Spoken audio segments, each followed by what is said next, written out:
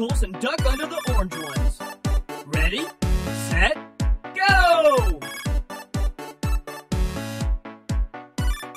I, I, I, I will follow you, God. I, I, I, I will live for you. I, I, I, I will keep pressing on until I have reached the prize. I, I, I, I will move toward the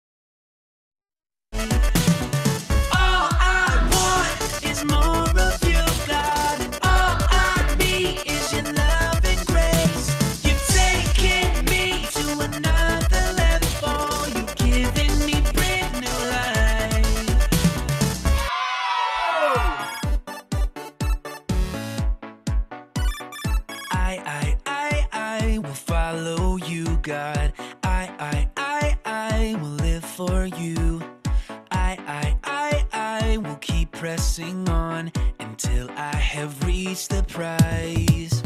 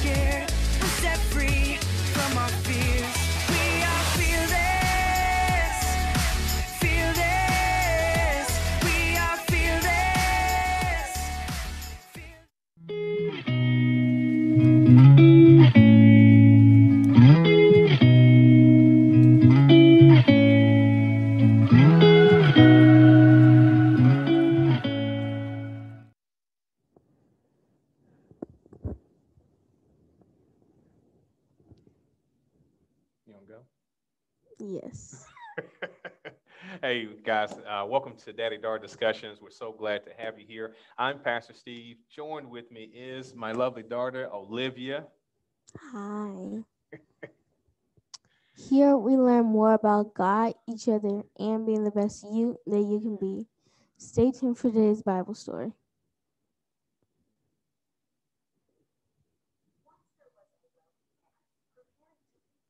On a long journey he gathered his servants together and gave careful instructions on what to do while he was away.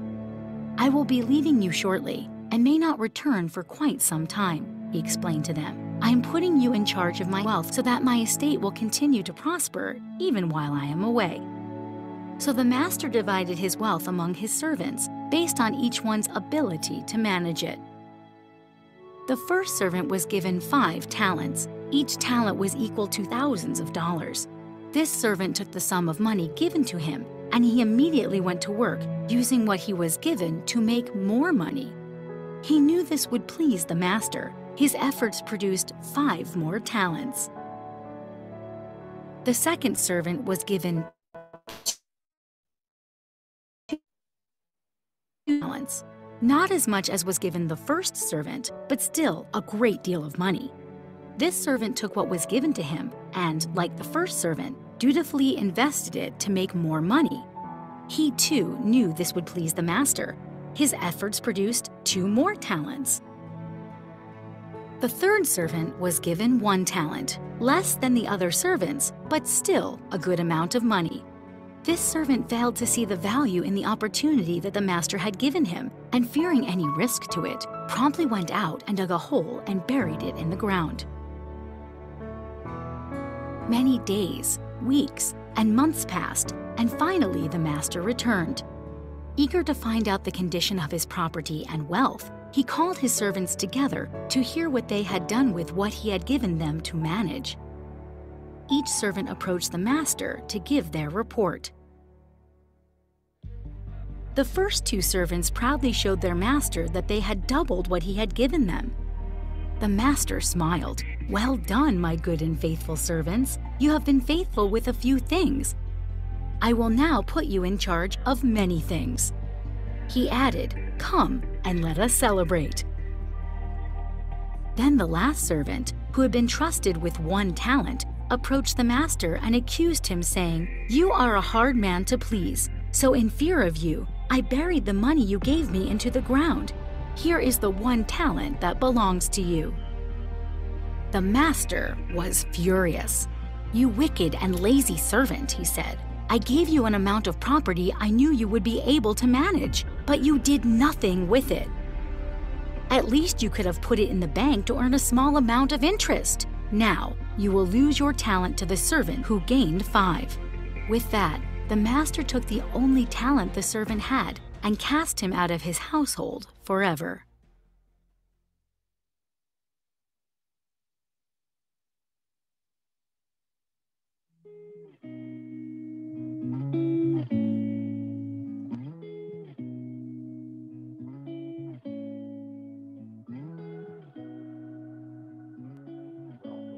Welcome, welcome back. We're glad that you got a chance to hang out and uh, check out this story on today, which is a pretty fantastic story that really tells us about how the Father and really his love for all of his children. Because if you notice in this story, Olivia, um, it teaches us about a person, a man who was wealthy, who had a lot of bread, I mean, a lot of money, okay? And because he had all of that, he was give that and entrust that to his servants.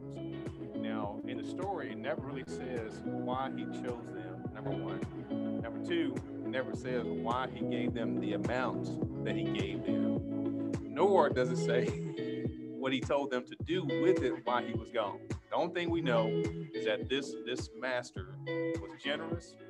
He gave, and it didn't say that these these servants deserved it. He gave it, it was an expectation that they were supposed to do something with it without him really saying. Nor did he tell them when he was coming back. Did he ever say when he's going to come back? Okay, so when you think about this story, you think about this master who had all this wealth, who was willing to entrust this into his service. What, what does that What does that tell you about the generosity of God? So, so again, in the story, wealthy man gives something away for his servants to, to do something. What does that tell you about God's generosity? Well, it tells me that um, basically um, God said that I like the the wealthy man, um, had a lot of money, and he said, "I'm gonna give to these three men," and um, he basically gave to them because they were like they worked, but I don't know like why he gave them the amount of money. Right, right, right. And God is like, I can give my love to you, Okay. and in return, I just need you to like obey me and like basically, Be busy. Something with, with what he entrusted because I, and, I, and I love what you said that I mean the kind of love that God has and he gives it. I mean he doesn't say, Hey, you gotta do X, Y, Z to get my love. He gives it in abundance, right? Um, and not only does he give love in abundance, but in the story says talents, and back then that was actually money. Okay? But just like we have now, we have talents and abilities, right? But that don't just come from ourselves. We don't just born and wake up and say, man, you know what? I can really sing. I just, man, I I, I want to sing. I want to sing. I want to sing, and it just have it doesn't work like that. God gives gifts. He gives abilities. He gives talents. Okay. So just like in this story, I mean, this master just gave it, right? Um, and it didn't say that they deserved it or they did anything uh, to to, re- to really earn it. The master just gave it, right? And God does the same thing with us. He just gives us gifts, gives us talents. Doesn't matter what we've done. It doesn't matter how we behave. He just gives us talents. So Olivia, do you believe that you have talents? a few. A few. That's that's pretty modest. I, I like that. I, I like that humble nature there. That humble answer. Thank you. Great job. So, how? Well, first of all, what are your talents? So that's number one. What are your talents? Number two, can you can you show us right now? No, I'm not putting you spot. but first, what, what are your talents? That's the first question. Um, some of my talents are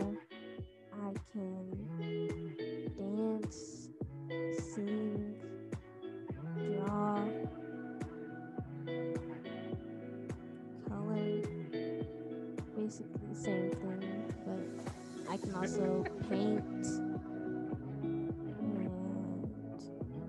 And So everything you described is kind of artsy, like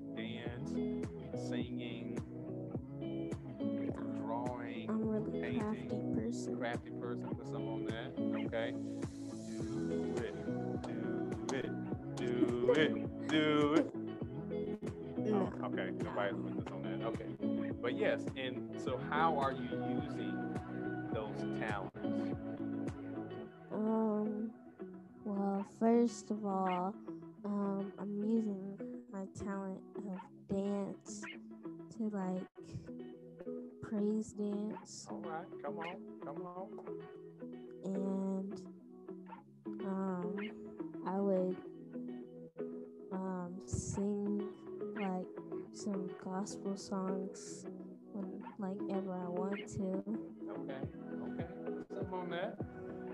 So gotta figure out how to incorporate the drawing, painting, and all that into I you can know serving, right? Can like um if I can get canvas and like um uh, like paint board, then I can like on Sundays like paint what I'm thinking of what the sermon means. Oh my goodness.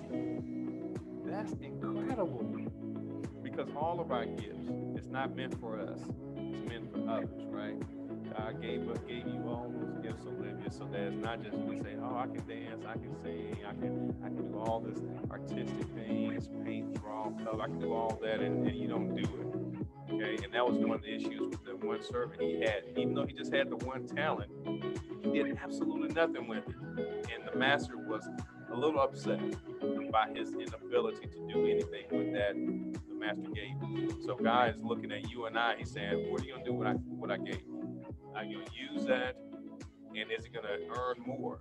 Because those talents earn more talents, right? So one had five, you got ten. So so your gifts supposed to be to help multiply, meaning that more people should be blessed because of that and be a part of God's kingdom. Okay. Awesome. Do it. Do. Okay. All right. Well, thank you all for being with us on today, and I and I hope that this lesson uh, on the talents spoke to you. That God is generous; He's given you all those gifts and abilities, so that you know that God would be glorified and that His kingdom would expand. I mean, I love Olivia's uh, response. I mean, trying to think of ways where she can use her talents to glorify God uh, in dance and singing, in painting, drawing, and coloring. How can you use your gifts? That's our challenge. So, parents, um, in the uh, we put a toolkit a home toolkit for you uh, filled with amazes, crossword puzzles, uh, word search, all of those things for you spend time with your son and your daughter just to talk in more detail and share with them what your gifts and talents are. But then be ready to ask, answer, how are you using uh, those gifts and talents? So let, let me let us pray for you, and we'll do this again next week. Cool. Cool. Okay, let's pray. Father, again, thank you for just a wonderful lesson and a wonderful, wonderful reminder, God, of uh, how we're supposed to use our gifts and our talents for your glory and to expand your kingdom. So, Father, we pray for those who are watching. God, would you strengthen them, give them wisdom on how to use their gifts and talents, give them the courage to do it. And we tell you thank you. Jesus' name we pray. Amen. Well, guys, as we love to say around here, we love you. Anything you do about it. All right. Bye, y'all.